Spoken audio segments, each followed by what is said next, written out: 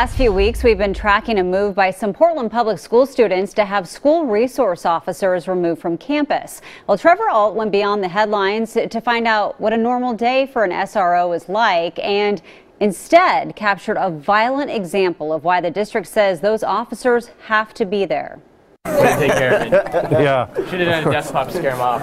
Officer Tommy Stoffel has been the Lincoln High School resource officer for three years. Good morning. But for the first time on Thursday, he had to break up a fight. It sounded like a, a rumbling by the water cooler, and then uh, and then just flailing.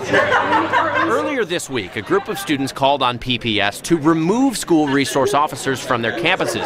So we wanted to see what the job actually entails. But every now and then we need to step in and intervene and say, hey, I don't think those are the best decisions you're making. Who wants to see Dylan get put in handcuffs? While Officer Stoffel is equipped to handle large scale situations, he told me most of his work is positive interaction with students and de escalating smaller problems. He carries a taser and a handgun, but in the school, he's only ever used his handcuffs, and that's only about twice a year. Those little fires are constantly being put out that otherwise would become bigger fires. We were there Thursday when he helped put out one of those fires. He was greeting students in the hall between classes when this happened. Hey, hey, hey, knock it off. You guys, stop now.